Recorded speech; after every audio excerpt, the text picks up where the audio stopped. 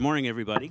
Uh, it's not quite as nice of a day today. I didn't believe there was blue sky in Bavaria in February, but I saw it yesterday. Um, today we're going to talk about uh, cybercrime lines of action, which is, but we're really going to focus on cybercrime, ransomware, and we're very fortunate to have decades of combined experience here in the national security, public safety, and cybersecurity realm. Uh, their bios are all on the papers that you have, so I won't repeat them. And we have short time, so we're going to do dive right in, and I'm going to ask the panelists all to spend about a minute answering the question of what are the current shortfalls in effectively fighting cybercrime right now, and how would you fix them if you could? You know, for, from where I sit, and uh, I've been in the private sector on the vendor side for over 20 years, so spending um, literally decades with both public and private sector organizations and companies. Really, I think from my perspective, it comes down to two things. One, there's uh, a massive technology gap that's uh, still sadly very prevalent in organizations, both from a software as well as hardware perspective. And some of the biggest and largest and most critical enterprises in the world today still rely on antiquated hardware and software. And that presents a, uh, you know, a major opportunity for cyber criminals, nation state actors to exploit those vulnerabilities inherent in legacy systems. And um, in absence of a massive forklift of technology upgrades, really what, what we see is a need to fill that gap with effective cybersecurity tools.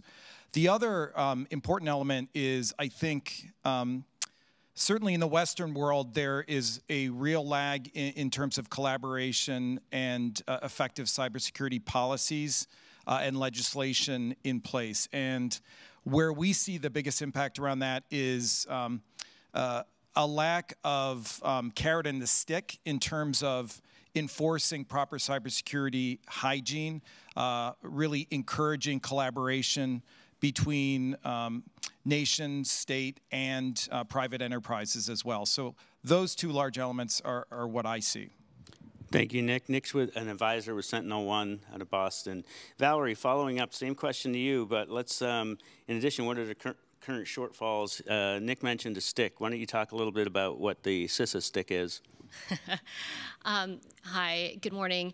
So CISA isn't a law enforcement agency, but we're an agency that focuses in on how do we understand, manage, and mitigate risks for the nation's critical infrastructure, and especially when it comes to cybersecurity.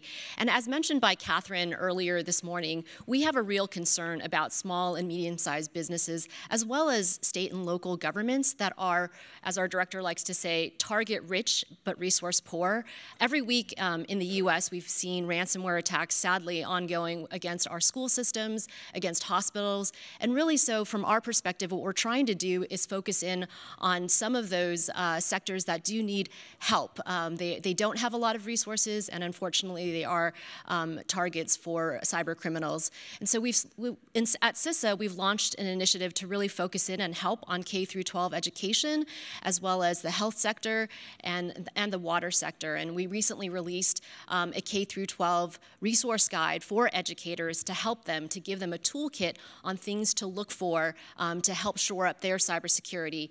We also have a grant program that we were recently given where we're trying to help our states um, better protect themselves by having cybersecurity plans for their states in order to raise the bar, really um, I think we've, we've talked about earlier today, there's probably no way to totally eliminate cybercrime, but it's really our responsibility to make it harder, to make it more expensive for criminals to be able to act. Thank you. And um, Valerie spent years at the FBI uh, before she went to CISA as one of their senior executives. The next panelist, John Carlin, also was at FBI as the chief of staff um, before moving back to DOJ where a, a couple times. So John, why don't you follow up on that? Sure. I, I recently was at uh, the Department of Justice as we did the switch of administration to the Biden administration. And one of the first things I started at, at the Justice Department was a task force focused on ransomware. Uh, as many of you know, I think our, our statistics will show that 2021 was the worst year in history in terms of the damages caused by ransomware actors, criminal and nation state. I think we'll see a, decrease in ransomware this year, partly because of the distraction of the criminal groups by the Russian aggression in Ukraine, but we'll see an increase of other types of cyber-enabled fraud, business email compromise schemes in particular. So bottom line, I think the threat picture from bad actors, criminal groups, and nation states is bad and getting worse.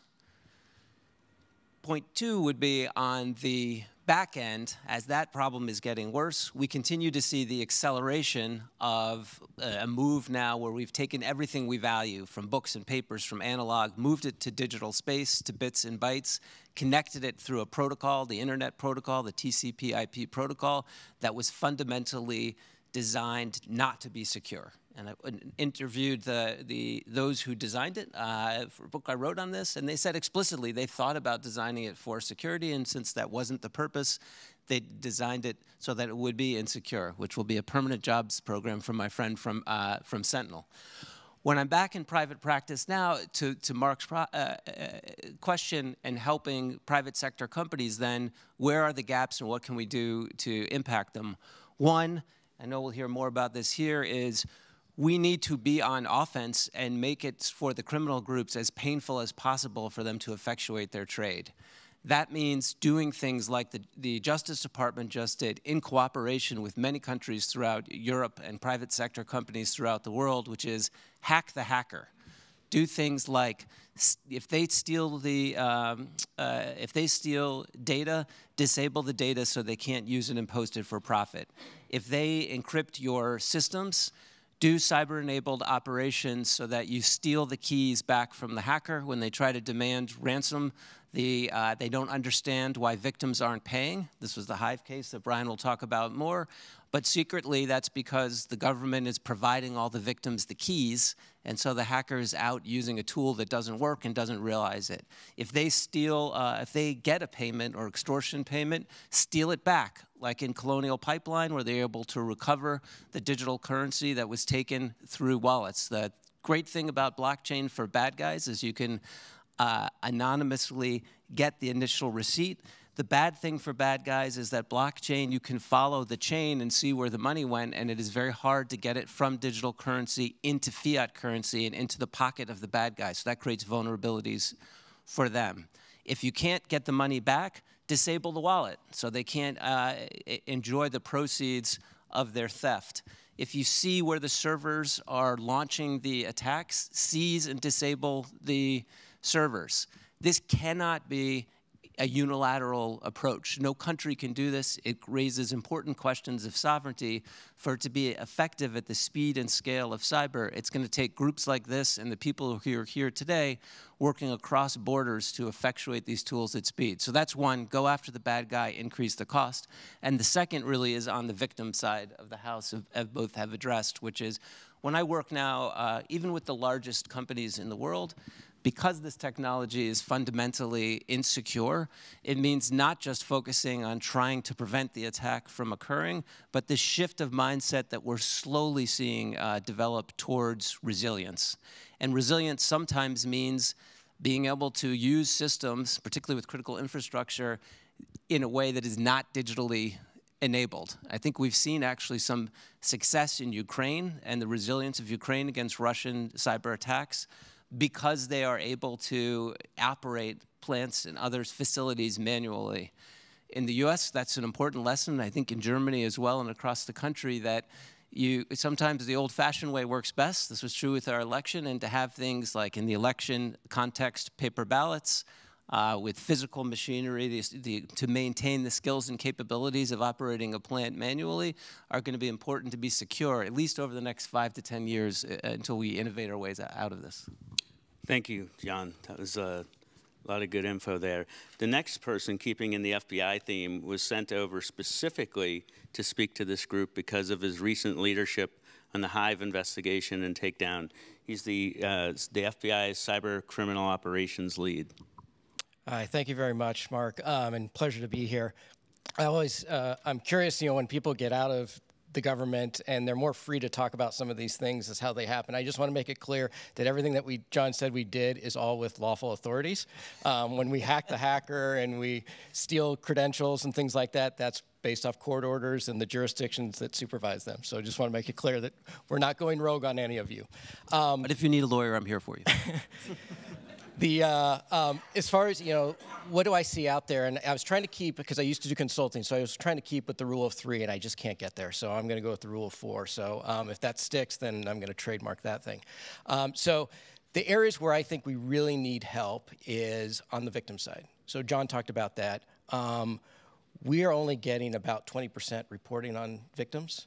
Um, and we can't do our job, and our partners in law enforcement can't do our job if we don't have all the information coming into us. They are just like us. They make mistakes. The more they do things, they leave breadcrumbs, their VPN drops on things. That provides us opportunities to take advantage of. So the more reporting that we get, the better that we are. Um, the second is the private sector. Um, we can't do this. We have great coalitions and great partnerships across the globe that are working these problems. Um, but most of the data, most of the information, and a lot of the capabilities actually resides in the private sector. And so we're having to partner more and more with the private sector. It's not an easy thing, and it's been alluded to up here of based off privacy rules and things that we have in the United States, and I know other places. We have got to get beyond that if we want to make a real impact on this environment and see a day where we see private sector and law enforcement working hand in hand in the midst of the trenches of these types of things. Um, the, uh, the other part is that from a victim side is looking at this, it's not a technical problem. Um, I was so encouraged earlier when we heard about the thing about, you know, you need process and people and technology. And I think that is so true these are business systems, and we need to start thinking of this as a business problem. It's not an IT problem that you squirrel away to the guys down in the basement who manage your servers. Um, these systems are there to support our business needs, and so we need to get the business community to get more engaged that this is their problem to help solve, and it's not something that they can just uh, push off to other people. And I'm going to save the fourth one for another part of my conversation. Thanks. Actually, uh, I'm, I'm going to go right back to you with this next one about uh, if you could just tease out a little bit the importance of international alliances in the cybercrime ransomware fight. I'm going to go to you, but then I'm going to ask CISA to follow up, and then if our other uh, uh, panelists want to jump in, they can before we go to the next question. So uh, maybe use some examples of your most recent if that's uh, yes. appropriate. Yeah. Okay. Happy to. Um, so certainly within the Hive investigation that we just had, uh, the first announcement on. Um, so I want to make it clear that that investigation is not over, um, but that uh, if you look at the uh, uh, press release that we put out there, I think there's 11 different countries uh, that were involved in it, um, as well as Europol as an entity. Um, and that is pretty common. That is almost every single one. I can't think, actually, I cannot think of one of our major cases that we have at the FBI that we do not have international partners with, um, and particularly European partners. Um, we were talking last night about those are, are really some of our closest relationships, um, and that comes from, uh, you know, where the servers are located, but it also comes from the capability. And so we have to make sure that we're partnered up with entities who have the requisite skill sets to address this. And I'm pleased to report to people in this room that in Europe, you have very capable law enforcement. Um, things where, as we talk about, you know, when we talk about the Hive uh, investigation, it's an example of what we call joint and sequenced operations. And that means that if you look historically at how we did things, it would be you big a big big takedown at the end, and you try and get as much as you can within it. And we're recognizing that that model doesn't work anymore. We need to put pressure on the adversary, which means that we need to be doing this on an ongoing basis over a length of time and put pressure on them every day of the week um, because that's what they're doing to us. And so Hive was an example of us and our partners taking those sequenced operations. And you will see things like one country making an announcement on something, and there may not be other countries on there, but that actually may be part of a joint and sequenced operation because we are going to be timing this over time and let the right place at the right time with the right capabilities address what those issues are. Thanks. And um, so FBI has had attaches around the world for decades. Um, CISA is a relatively new agency in that context. So can you speak a little bit about what you're doing to plus up the international coordination for CISA? Yeah, no, for sure. So one thing that CISA, um, if you you are all aware of or not, is that CISA hosts the U.S. CERT team, so the Computer Emergency Readiness Teams, and we interface with over 150 different CERT teams around the country. I mean, sorry, around the world, and that's really the way that we engage internationally. Um, we share information regularly on threats. Um, you know, with each other so that we can see if there's a trend going on somewhere else in the world that, that can be shared back and we can share it through that, that CERT network. Um, I want to say, too, that we team up a lot with the FBI since they have a physical presence. The last time I was at the FBI, I think in over 76 locations around the world. Um, and so even recently in the case where uh, the government of Costa Rica and the governments of Montenegro experienced ransomware attacks, um, FBI was able to have people boots on the ground to help those, those countries, but we were able to remotely provide assistance in cases like that. And if I could jump in, Marc, I think that's a great example because we had other instances like Montenegro, and then we're partnering with the Germans and the Dutch and bringing their expertise in where we may have one person on the ground, but we've got a, a whole coalition of international partners who are helping out. All right, thanks. Next, um, John, I, I want to go to you, and then I want to go back to Nick on this next one about hacking back, since you brought it up.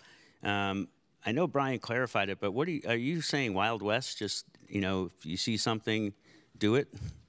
Yeah, no, it's. I get this question a lot, and understandably, because if you're in a circumstance using the Wild West analogy where you don't feel like the government is helping you, and that criminal groups where you know the name of the criminal group, you know the location from the IP address of where the attack is coming from. You think you do? It, eh, you think you do, is attacking your company. Can I go hack them back myself and do, can I go get my data back? Can I go disable the data that they have taken?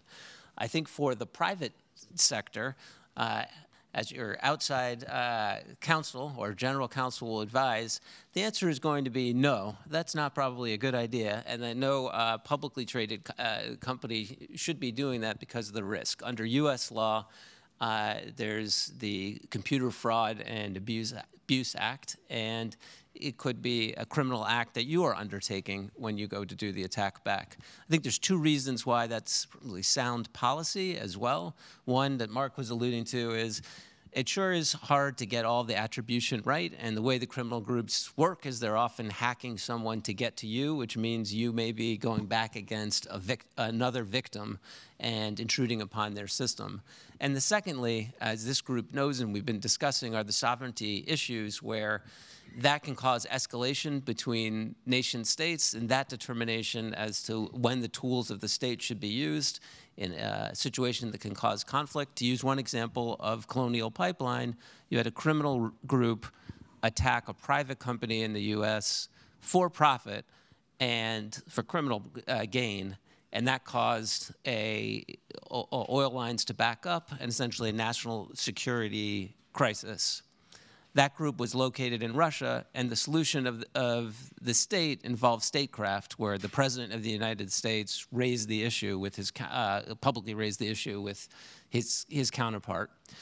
That said, you can do what's called active defense. It doesn't mean there's nothing that you can do on your system. And so the line I would think about is the perimeter of the, your system or network you can do creative things like if you know that there's no system that's secure, as we've discussed, and that a bad guy can enter the system, maybe uh, it's a bad idea to put your crown jewels in a folder called crown jewels. Don't advise that. But keep a, keep a folder that says essentially crown jewels and uh, put information in there that is fake. Use a virtual uh, environment so you can monitor the activity of the bad guy on your system. You can also put information in there that they can steal or exfiltrate that will not work when they try to uh, try to develop it. They'll waste time and resources, and you can study them and gives your defenders time to respond. And I'm sure uh, Chris can follow up on some some of these ideas. Finally, and this is in I think a gray space and one that warrants further exploration, are things like beaconing back. So if you apply that same principle, bad guy goes into the system, take something from your system that they believe to be yours, and it happens to beacon back so that you can find uh, the location. I think that's a, a, gray area, and if that doesn't cause damage, maybe uh, lawful. Don't recommend you rush out and do that, but that's one to further explore. And then finally, just to pause, what does that mean, though? Go, uh, going back to, to earlier comments, if if companies can't go and defend themselves by doing the attack, it puts even more pressure, I think, on governments and policy regimes to allow effective response by government. Because what can't be sustainable is that you know there's this criminal group attacking you constantly, sometimes with the resource of a nation state, and you on your own as a company are left with nothing to do about it. It means you need uh, to have those partnerships with FBI, Europol, Interpol, others to take action. Thanks, Sean. Now, can you follow up from the industry standpoint on that? Yeah, you know, echo, echoing a few things that that uh, John had mentioned.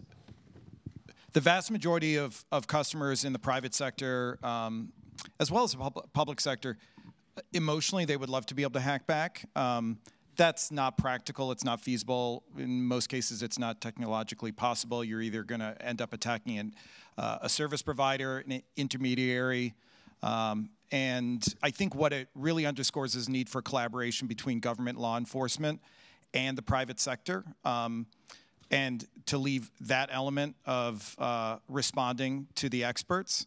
But, you know, I think it's best summed up from some of the things I heard yesterday, which for the vast, vast majority of organizations, defense is the best form of offense. So building in resiliency, um, as John had mentioned, building in even deception technologies within uh, your own uh, corporate network, cloaking critical uh, data, and um, building in a modern defense against attacks because attacks are going to happen. Um, as Valerie had mentioned, we're seeing it across, I think, a common misperception from folks outside the industry is that only the most critical and largest companies are hacked. And what we've seen is in a, uh, just an incredible rise of opportunistic ransomware and other types of hacking attacks against libraries, uh, community hospitals, small organizations, tax offices with 30, 40, 50 people, because sadly they, they, they're going for the weak of the herd. And so, uh, you know, I think it's just incredibly important for these organizations to drive best practice in terms of having a, really robust defense, but then also really um, gameplay this out, understand how to respond to attacks, how to collaborate, um, both within their industry and partners. And I think some of the some of the encouraging things I've heard uh, both today and yesterday is really, and there is very much a need for increased collaboration and legislation around this, um, because uh, I think a couple folks up here have mentioned, to date, there's a lot of legislation that actually discourages uh, information sharing in the name of uh, privacy protection, et cetera, and that really hamstrings responding uh, in the proper way to these type of attacks. Thank you, thank you, Nick. Let's um let's move more into the geopolitical realm.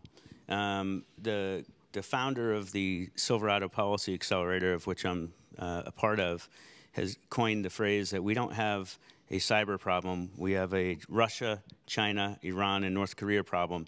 So, John, I want you to put your hat on from uh, your second to last government assignment when you were Assistant Attorney General for National Security prosecuting state uh, affiliated hackers. How, what do we do with criminals supported or tolerated uh, by state actors? Look, and I, I agree fu fundamentally with, uh, with his assessment. These are, for a long time, I think we thought of uh, hackers, and if you ever look at news reports about hacking, it's often the same uh, old B clip, old video clip of a pair of fingers typing on a, a, a keyboard masked in shadow.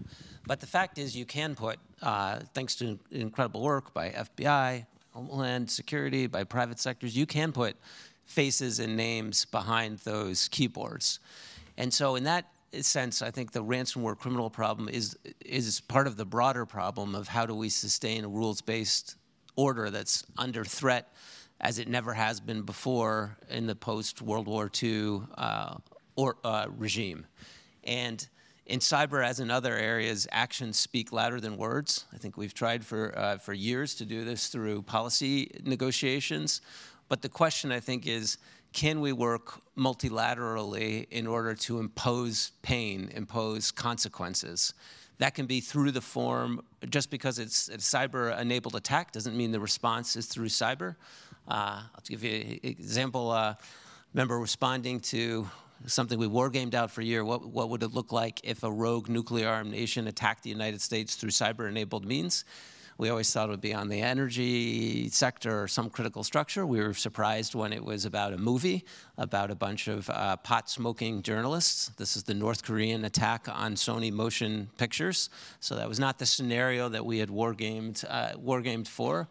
But if we had tried to respond by disabling North Korea's access to the internet, I think there are probably the combined uh, IP addresses and connectivity of the people in this room is greater than the nation state of North Korea. It would not be an effective deterrent. That's why I think you're seeing the use of other tools, lawful tools that could be used multilaterally. The use of sanctions, um, both against the criminal groups involved, but also the nation states that harbor them, to try to deny them the access to the next cutting edge uh, phase of technology through export controls. I'm going to interview her later at this conference, but the Deputy Attorney General uh, of the United States announced uh, yesterday a new task force with the Commerce uh, Department in the U.S., working with partners across the streets, going after those critical technologies. You heard earlier today from Paul uh, Rosen overseeing foreign investment inside the United States, denying the opportunity through foreign investment from those rogue, uh, from countries that are harboring rogue, rogue, actors to next phase technology. A discussion that's quite live today is outbound uh, investment. Should there be rules that limit outbound investment from rules-based countries to countries that are not following the rules to prevent them from developing technologies that can be used for offensive cyber attacks. That approach is sometimes called the all tools uh, approach, meaning all tools, all legally available tools, uh, uh, as Bryan uh, pointed out, working multilaterally. And, and just um, before uh, I asking other panelists, just follow up on that. One of the things about the outbound investment is it's not just dollars going to an entity. It can be expertise that goes with that from the venture capital on how to make your business better. And I think the point is we don't want to uh, create uh, any more benefits for adversarial uh, or uh, challenging nations than are already there. Yeah, and it, it's, and I think it's an, these are important and difficult issues that we need to work through to give because there's a flip side right you you want to enable those who want to protect themselves from autocratic regimes from getting technology that for instance can protect communications. So it's going to take conversations, I think, with particularly transatlantic partners, but really countries throughout the world that share the, the rules-based order on what are the most effective series of sticks that we can use that will ultimately change the behavior of states that are harboring the, these criminal or nation states that are themselves attacking private companies for the benefit of their competitors overseas. Okay, anybody else want to speak on the uh, uh, how to deal with the tolerated state actors? Are we ready to go on? So that was the fourth prong um, that I was had mentioned earlier, and it's a real difficulty for us um, when you have people in countries that we can't get access to.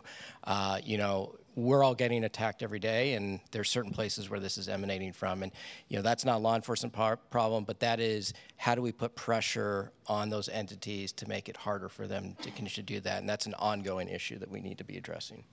Okay, CISA, I'd like to go to you with reporting, victim reporting.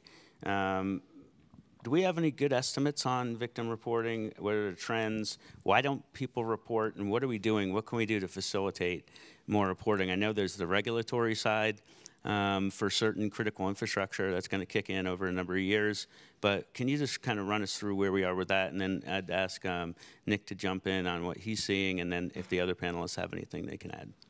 Well, I think Bryan mentioned earlier that we have a real dearth, right, in reporting because it's all voluntary right now.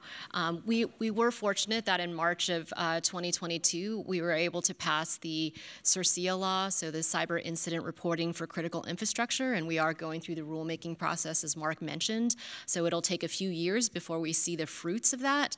But we are really excited um, to be able to, uh, when that law does uh, get enacted, um, to be able to better understand sort of the trends that are going going on. And when we think even about the ransomware issue that we have been discussing here, it's hard for us to, all we know is that the reporting that we have is underreported. So um, what's going on is probably just um, scratching the surface of the volume and amount of activity that's going on. The losses even that have been mentioned in earlier panels are probably even sadly more than, um, than have been reported. And so we're, we're really excited about being able to have this data when it comes online and being able to rapidly share it with our um, uh, interagency partners to make sure that we can get um, the intelligence that we glean from the data out um, and be able to really help protect us as um, we've talked about already that really um, hardening our defenses is really an important part of, of being able to, uh, to fight cybercrime. Nick, can you follow up on? Yeah, I mean, I think from my perspective, it is massively underreported, 1 in 20, 1 in 30 or, or greater. And there's several good reasons for that. Um, these are solvable problems and they need to be solved. The first is uh, most organizations don't know how to go about reporting. They literally don't know what to do next. And uh, what a lot of them are doing is relying on their cyber insurer, which then brings in a breach coach, who, by the way, usually are attorneys, and attorneys are like, don't talk to anyone, you know, the typical legalese. Um, and related to that, I think companies are really concerned about reputational damage, business damage, customer damage, um, and I think that these things need to be addressed and mitigated with legislation and processes where folks and companies can confidentially and easily report.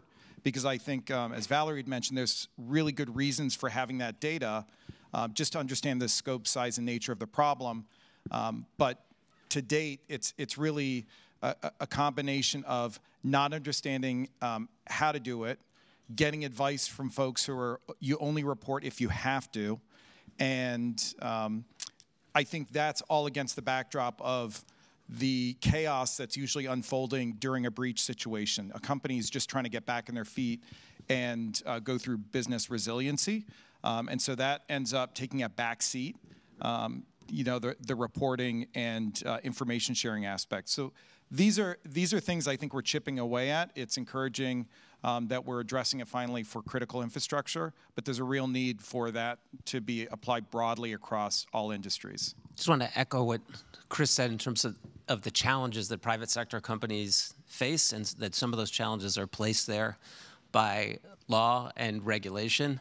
And highlight a couple parts of that because I think they're very relevant for policy in the EU as they are in, in uh, the US. So one is right now our, our laws are, are uh, skew around privacy. How many of you, uh, by show of hands, have received a notice at some time that your data was compromised in an incident? So it's pretty much the entire room. I'll tell you, my daughter was a first piece of mail, and she was very excited to see her uh, name was a notice that her uh, identity had been stolen in, the, in a well-known breach of the U.S. government's federal databa uh, databases.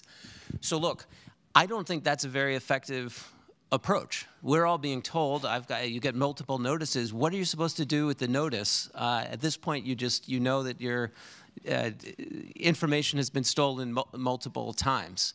What's more important in a lot of these incidents is that there's a mechanism to get it to the right government officials to act on it and go after the bad guys who took the information.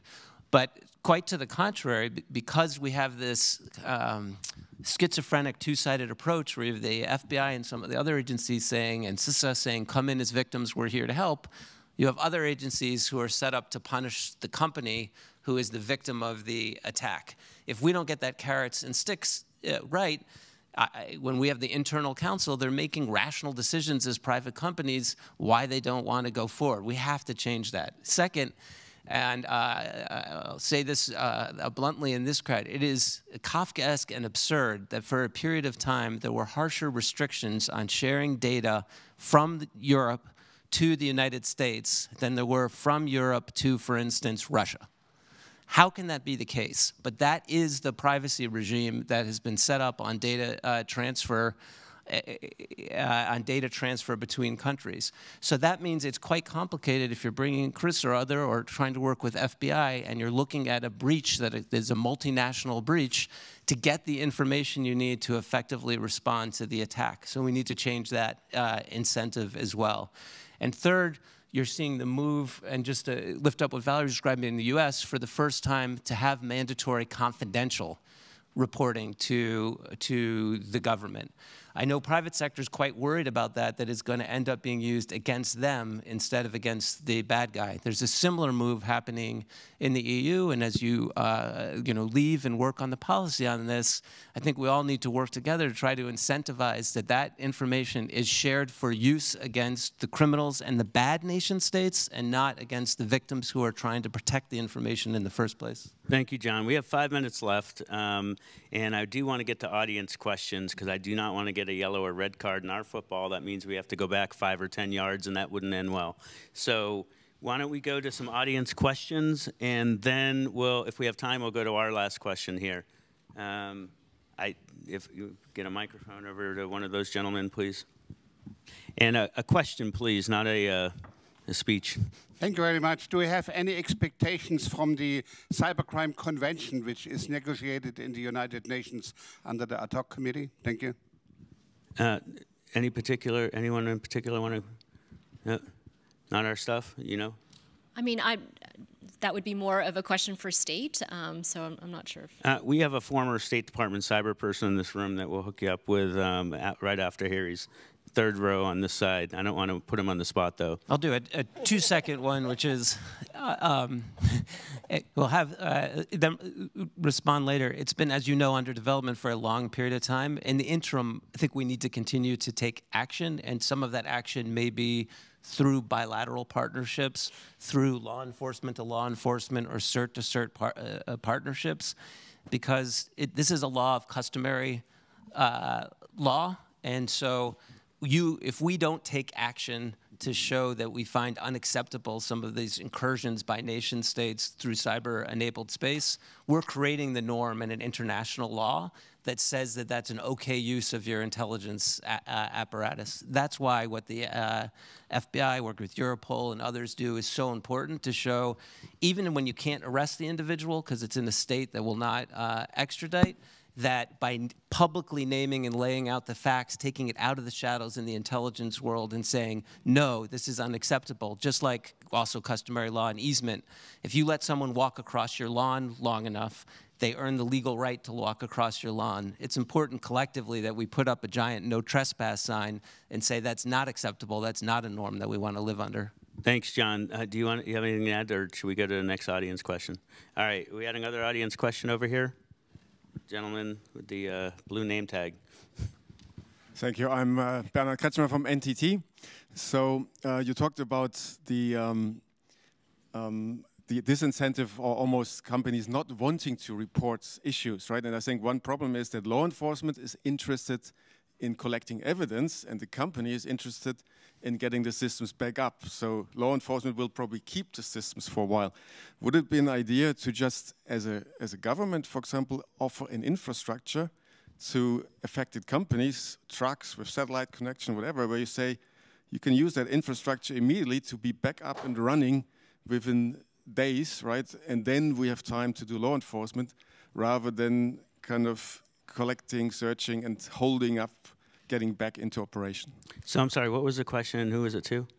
Did you get that, Bryan? I can, yeah, I can jump into this. Um, so as far as whether the government, i will actually defer on that one. But what I will tell you is that as far as a company reporting, um, and I can only speak for how we respond in, in, at the FBI is, and we've had a significant change over this last year, is we need to provide value back to victims. So I came to the FBI because I wanted to do good.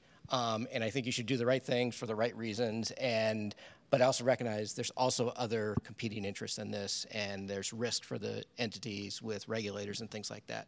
So how do we incentivize people? So we've shifted so that we're going to have value in that first interaction. When you call us, what I will tell you is that we're not taking your servers. We're not taking your, your information. We don't want your data. What we want is we want the indicators of compromise. We want to know the, we want to get the logs. We want to understand the nature of the data because then that helps us understand, well, what are they going to do with it? We don't actually need the data. So we shouldn't be shutting you down in any capacity. Um, the other thing is that we know because how, how we're structured is that when you tell us, hey, it's, it's Hive or it's Lockbit, we've got information on those groups, and that agent who shows up on the door or you call on the phone, they can give you right there the, T, the most latest TTPs, the IOCs, whether or not the FBI has the capability of decryption on it, um, any Intel products that we've produced. That is immediately available to you, so that should help you get back up and running so that then we will get the evidence later on on that, but that's the interaction. So we need to speed that up. And Hive taught us that 20%, and some people, and I agree, that may be high, is what reported to the FBI. Bryan, thank you so much for that answer. We have, uh, we have no more time left, so I am going to ask and then answer the final question. what preventative measures are needed to stop cybercrime happening in the first place? And the answer is none. You can't stop it, so focus on resiliency. All right, thank you for Thank the you. panel.